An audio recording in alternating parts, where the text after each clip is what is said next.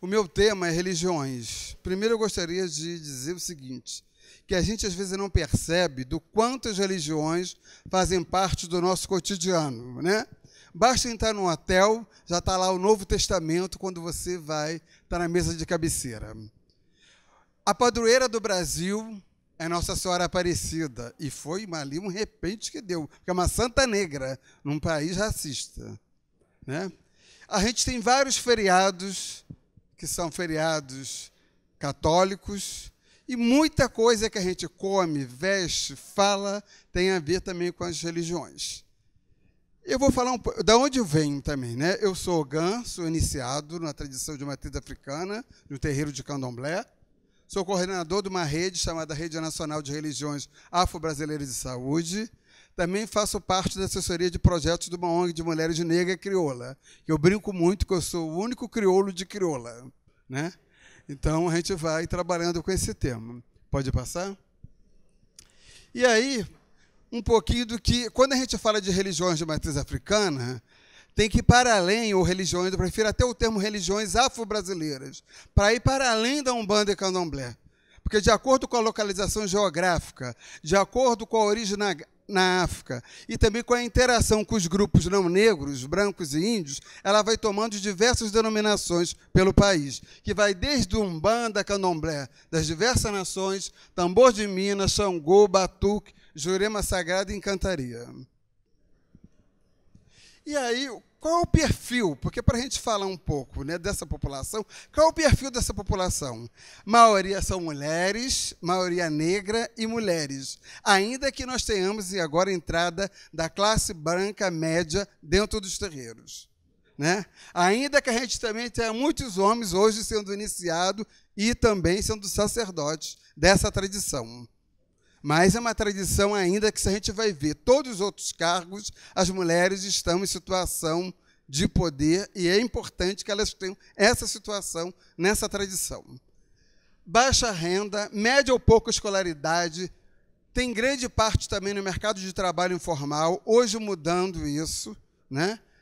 morando em subúrbios e periferia e também com falta de saneamento nos locais onde mora. Ora, isso tudo vai ter muito a ver com o que hoje a gente está trabalhando, que são os determinantes sociais de saúde.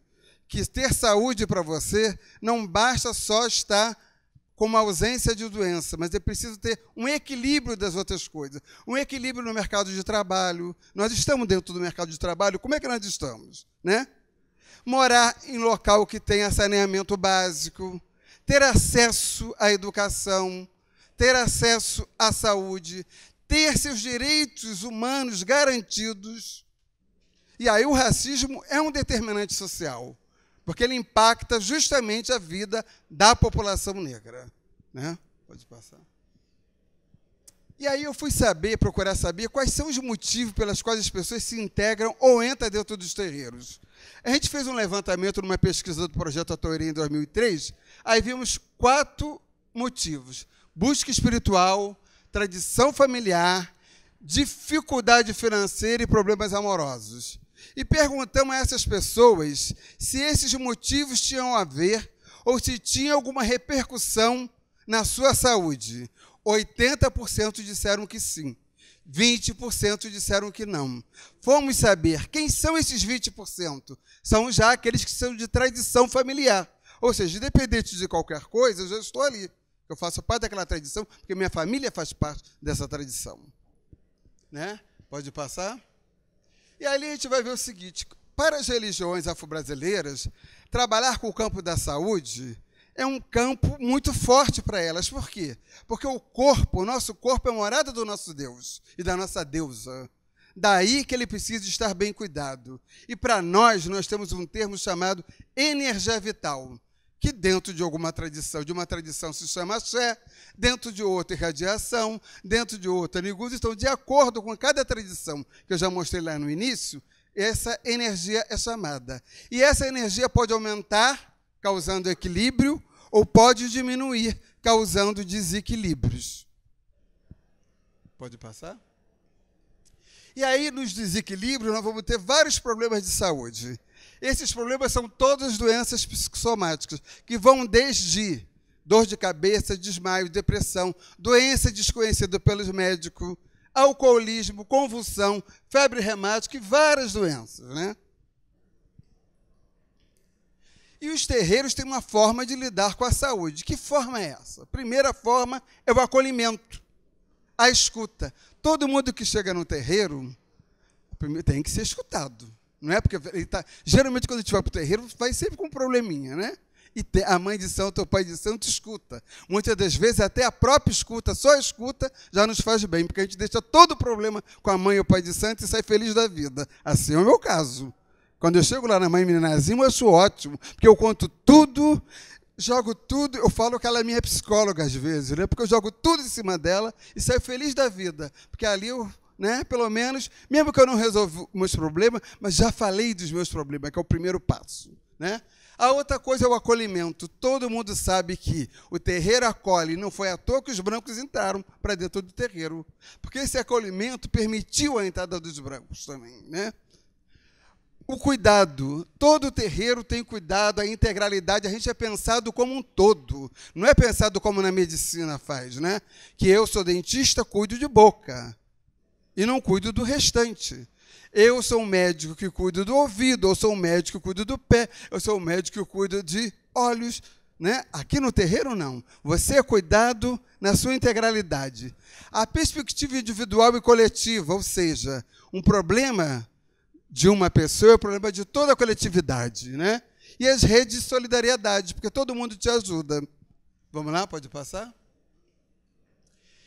Que práticas de cuidado são essas que existem dentro dos terreiros? Ora, são várias. São práticas relacionadas aos saberes ancestrais, que é desde os ebós, o bori. O bori eu gosto porque é dar de comer a cabeça, fortalecer a cabeça. Isso não tem a ver com a saúde mental da gente?